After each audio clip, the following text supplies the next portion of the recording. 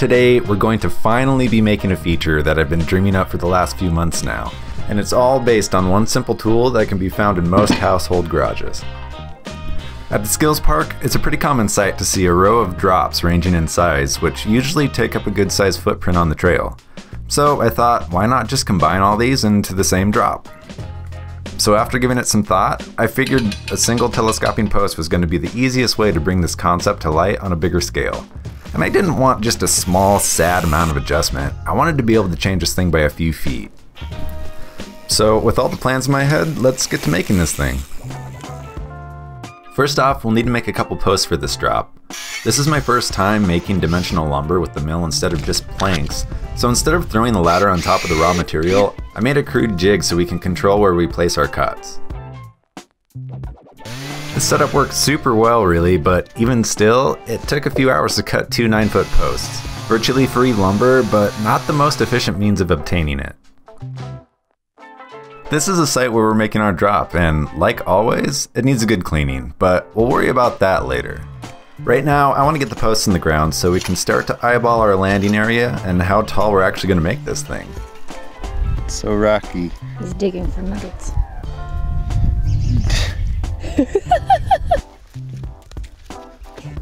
Before dropping these posts in the ground, I wanted to treat the bottoms to prevent bugs and rot. I bought some fence post sealer, but I'm not so sure about this stuff. It's kinda nasty and hard to apply. If you guys have any tricks for sealing fence posts, I'd love it if you left them in the comments. I did this for now, but I'm not sold on this stuff. Instead of using concrete to put these posts in place, I just used crushed gravel. I really didn't feel like having a ton of concrete chunks in the ground because these won't be the only posts that we put in around the property to make features with. A little bit of packing for about every 6 inches of gravel you add makes for a super solid post that's not going anywhere. Now that we have the boring stuff out of the way, let's get to engineering our fancy adjustable drop. So I've had this concept in my head for, I don't know, since fall. It's only like a general overarching concept. So when I start to get down to the nitty gritty of it, the details of the project are like making themselves apparent and I'm just trying not to, you know, cut off too much of this post because that would be kind of a project killer. I also think too hard about things, so I think I'm just gonna cut it and hope for the best. Yeah. I needed to cut off enough so the drop could descend low enough to make the first level easy while leaving enough to make sure it was sturdy when fully raised. I think we found the sweet spot though. The way I've decided to build it is to turn the jack upside down basically, with the shaft portion stuck in the ground and having a square frame be the part that moves up and down. To start, I'm making a wooden box to slide tightly over our post. This is where precision is going to be important, because if there's too much slop between this box and the post, it's going to be too sloppy to ride. If it's too tight, it won't move freely up and down the post. I did end up having some clearance issues since I milled the post myself, I knew this was a possibility, and hindsight, I should have at least bought a post for this portion so it would have a uniform cut, but this worked out fine. It just took a little more elbow grease to get it fitting right. Next, we're making the ratcheting mechanism. I give a lot of thought to this portion because it needs to bear the weight of the drop and the rider using it. Having fewer moving parts means there's less of a chance for something to fail. I settled on using a heavy steel pipe to act as a locking pin. Simple but effective. To make this functional, we'll cut a groove in the box so as the weight is put on the pin, the whole system will lock into place. And this thing is really starting to come to life. I mean, look at it, it's practically smiling at you. After some extensive product testing, once some weight is added to this thing, it feels rock solid, and I'm super pleased with how this part turned out. Yeah, I think it's gonna work. Nice little proof of concept. Kind of looks like a birdhouse too. How uh, how's that bushwhacker going? Your workout for the day. It's a good one.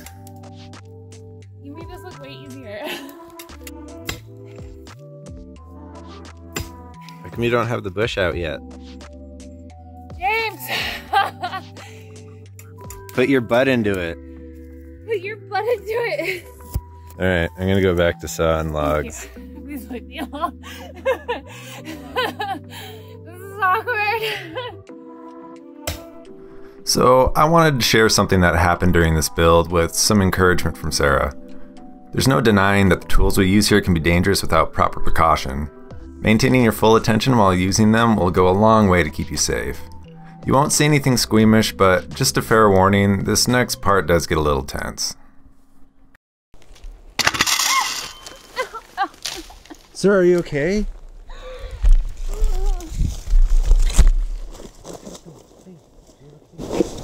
What's up? What's up? Here it is. Is it okay? What'd you do? What happened? Give me a second. Is it broken? I don't know. That thing spun back and I hit it. I can hold it up. I can move it. I think I just bruised it real quick. Just want to make sure it is just bruised.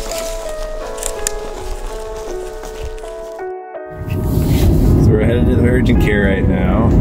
Get Sarah an X-ray because she I winched myself. she winched herself. She's sporting the broccoli right now, but I think we should have it looked at a little closer than that. This was really no one's fault, just an accident, but we both know that Sarah's very lucky. It could have turned out much worse, but she only suffered some deep tissue bruising. She's definitely super sore, but was back to doing yard work a couple days later. The locking mechanism didn't set all the way on the winch, and Sarah just didn't notice the fact until she was knocked to the ground. I'd hate for anyone else to get hurt trying to replicate anything you see here or any other projects in general. So just be attentive when using these tools so you can end your day shredding laps instead of nursing your wounds with broccoli. Well, Sarah's not broken, just bruised, so we're gonna get her some ice cream to feel better. In a hamburger. And a hamburger.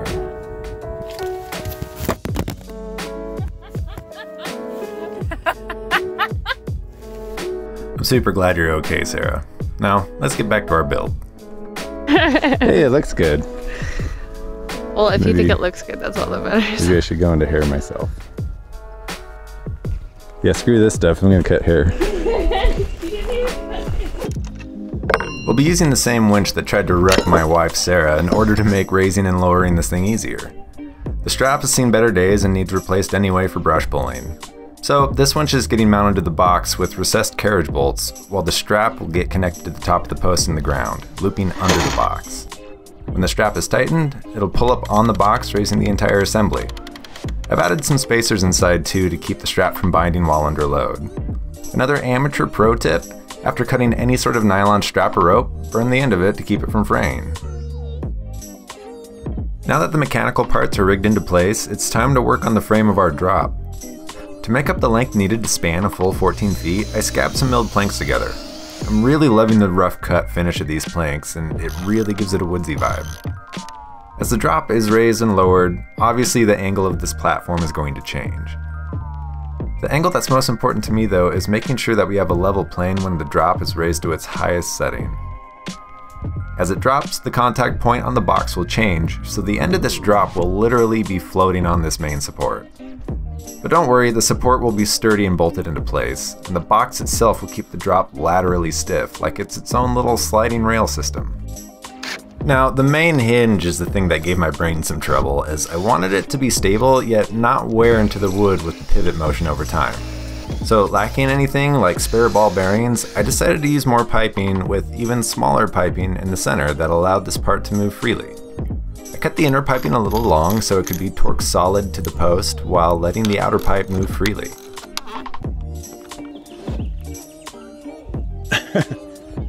That works pretty well. Super smooth on that. Boom. With the frame all boxed up, all that's left is the arduous task of cutting and installing the slats to our drop surface. I ended up making this 26 inches wide, a nice breath of fresh air compared to the jank plank. In time, this feature is going to be connected into our jump trail. I played with the approach a bit, but for now I just decided to make it straight on. So I threw another post in the ground and just made a quick run up so we could start playing with this thing. After a ton of blood, sweat, and a few tears, it's finally time to test this thing out.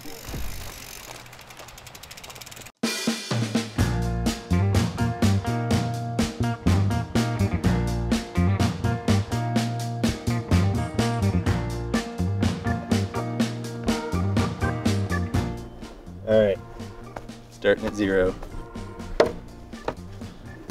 Ground level.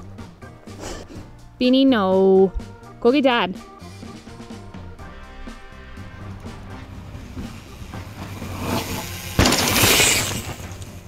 That look good.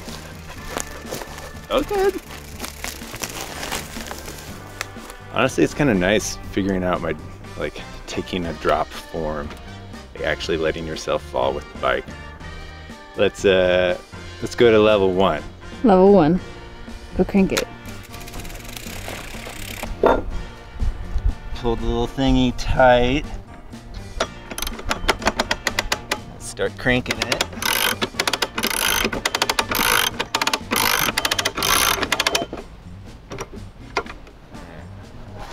All right, level one in place. Looks looks great. Slap good. it. Slap the top of it. Slap it. Yeah.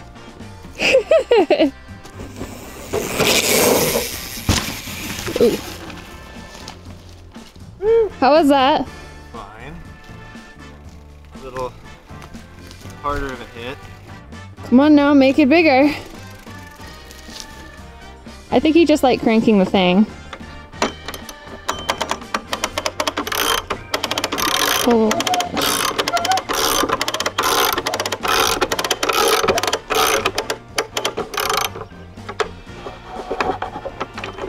Alright. That level two. okay. It's a pretty good drop. Yeah. It's a five foot. About a five foot. Yeah, because there's six. Well, I mean, if you land down there, it's like six. Okay. Please be careful.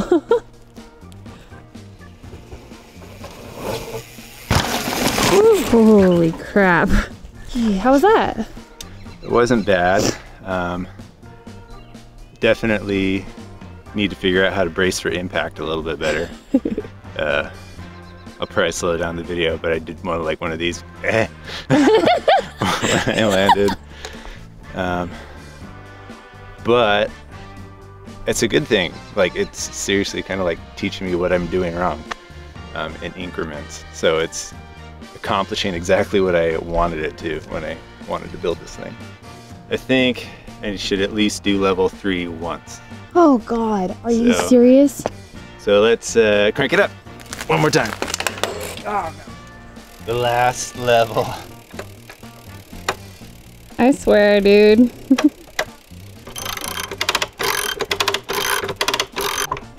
All right, level three, We'll touch it to make sure it's stable. Shit. stable. Oh my god.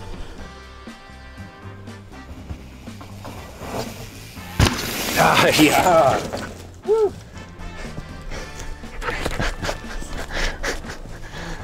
That's cool. Are you stoked? Are you stoked? Oh, yes. Okay, that was right in my mouth, bro. Are you gonna hit it? Hell no. Okay.